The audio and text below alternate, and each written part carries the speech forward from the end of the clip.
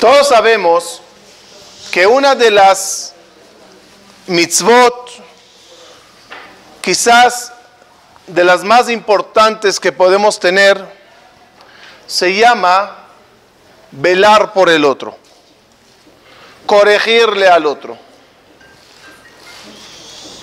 Es decir, cada uno de nosotros tiene que tener mucho cuidado de no llegar a ser egoísta, confiando y contento que él está bien y que el otro, pues que se hunda, ¿qué me importa? La hermandad es la que nos mantuvo hasta hoy. La hermandad de nosotros es realmente nuestra fuerza, la cual nos ayudó contra todos los vientos y mareas, progromes, inquisiciones y persecuciones, exilios y destrucciones. Estamos aquí porque en momentos difíciles supimos dar la mano uno al otro. ¿Cuál es el deber que tenemos hacia el otro? Dijimos una vez en nombre del Ben Ishai. El Ben Ishai pregunta, ¿por qué dice la Mishnah de las tres columnas importantes que el, mundo está sostenido, ¿cuáles son? A la Torah, a la Abodá, ve al Gemilut Hasadim. Las tres columnas son Torah, Abodá, Abodá significa servicio, se refiere a, rezo, y Gemilut Hasadim. Pregunta al Benishai, ¿por qué Torah es en singular, Abodá en singular y Gemilut Hasadim en plural? Tenía que decir a la Torah, a la Abodá, a la Gesed. ¿Por qué dice sobre la Torah, sobre la tefilá y sobre hacer favores? En plural. Torah también hay que estudiar mucho. Tefilá también es plural, son varios rezos al día. Responde el Benishai. Porque si quieres ayudarle al otro, la ayuda siempre está en dos terrenos. En el terreno físico y en el terreno espiritual. ¿Quieres ayudarle a alguien? Dale material, materialismo, dinero. Y dale también espiritual, esperanza, fe. Dale dinero y dale a Dios. Mándale una canasta de ayuda con un librito de Torah. Porque debemos de procurar darle al otro también olamazé y también olamabá. Por lo tanto, una de las obligaciones que todos tenemos se llama en el lenguaje hebreo kiruv. Kiruv es lekarev. Lekarev es acercar, es decir, procurar que los que no están, estén. Los que no creen, creerán. Los que se desconectaron, conectarlos. El, el Orahai Makadosh me lo enseñó esta semana el Rabbi Eliezer Davidson, me dijo, mira, ese Orahaim es muy bonito y realmente lo leí y lo quiero compartir. El Orahaim Akadosh sobre la parashá de Balak, versículo 6 del capítulo 24, dice así. Nada más voy a ampliar un poquito un pre al Orahaim. Todos conocemos la escena donde Bilam quiere maldecir al pueblo de Israel y Dios, ¿qué hizo? cambió las maldiciones en bendiciones. ¿Así ocurrió o no? ¿Sí o no? ¿Nos cambió Dios a todas las maldiciones en bendiciones o no? No.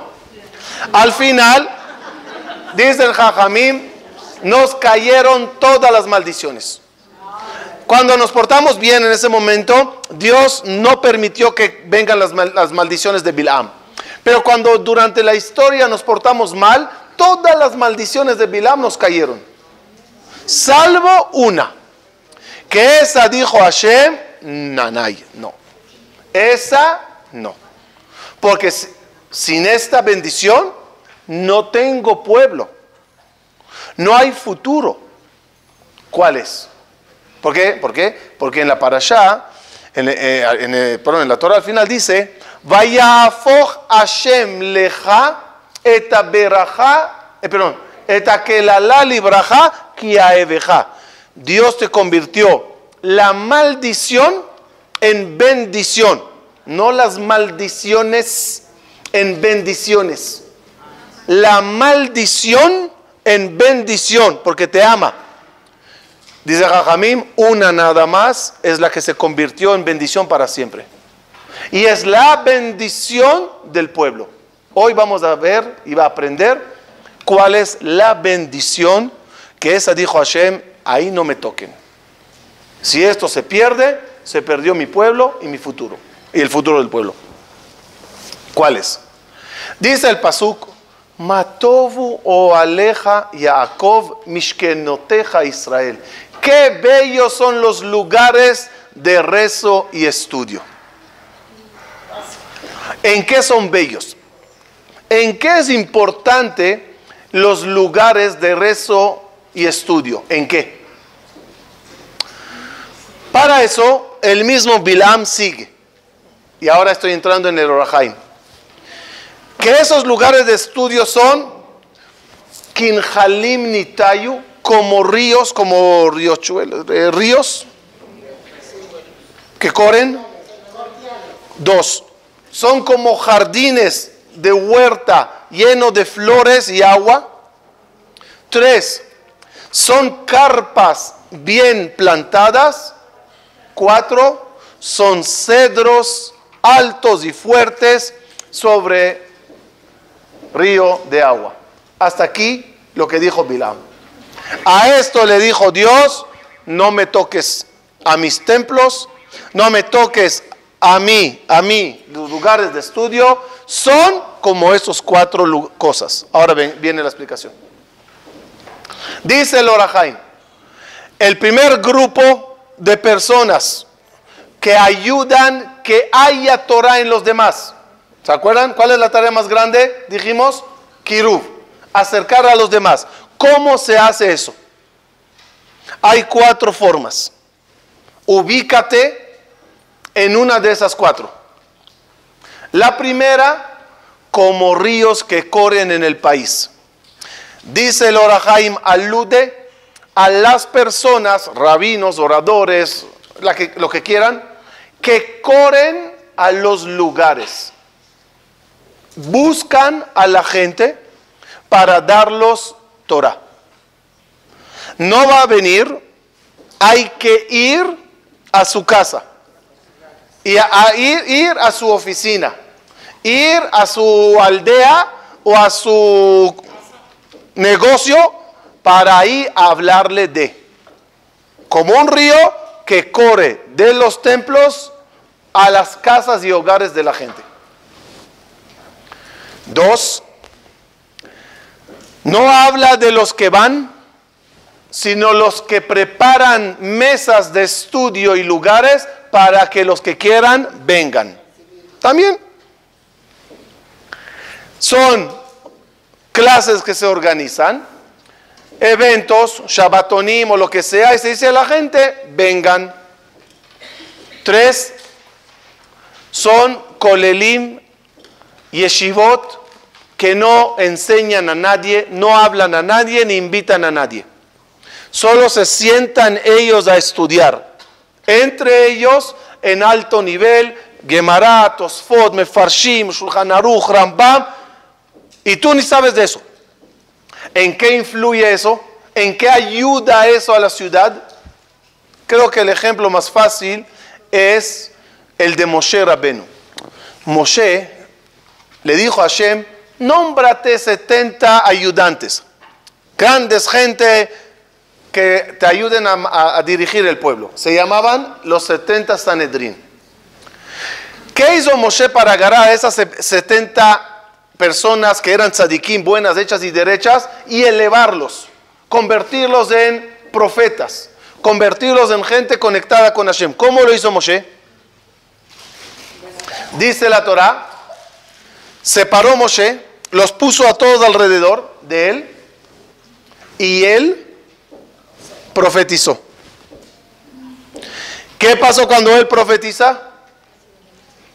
Todos los que estaban alrededor se contagiaron, contagiaron. No saben lo que él habló, no entienden lo sus niveles, pero nada más de estar cerca de ya recibieron.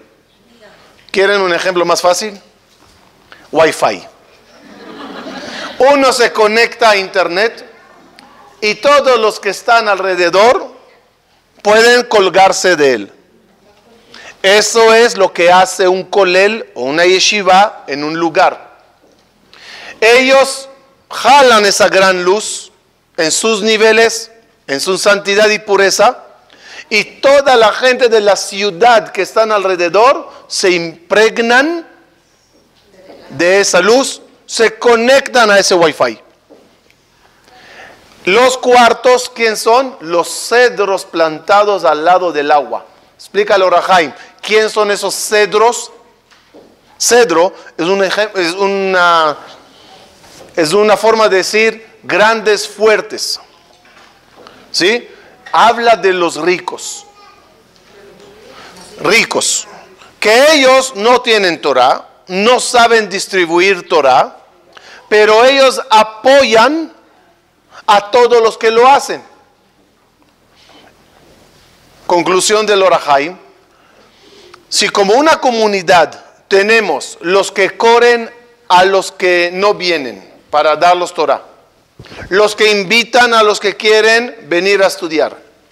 Lugares de estudio fijos de Colelim y Abrejim. Y ricos que apoyan para que con su hacer que todo eso funcione.